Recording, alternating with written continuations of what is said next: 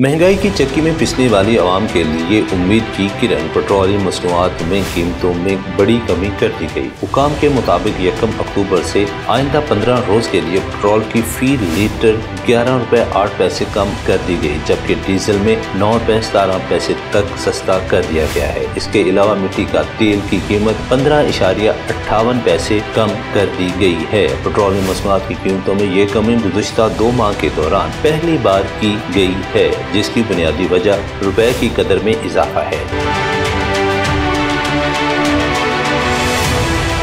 Diesel और petrol की कीमतों में आखिरी बार कमी जुलाई में की गई थी, जब पेट्रोल नौ रुपए फ़ी लीटर कम करके दो सौ तिरपन रुपए और डीजल सात रुपए फ़ी लीटर कम करके दो सौ तिरपन रुपए पचास पैसे कर दिया गया था। वाजिया रहे की हुकूमत ने पंद्रह सितंबर को पेट्रोलियम मसनूआत की कीमतों में रिकॉर्ड इजाफा किया, जिसमें पेट्रोल की फ़ी लीटर की कीमत में छब्बीस रुपए तक का इजाफा किया गया था। कैमरा मैन काशिफ नजीर के साथ मोहम्मद आसिफ आई न्यूज़, पाकिस्तान।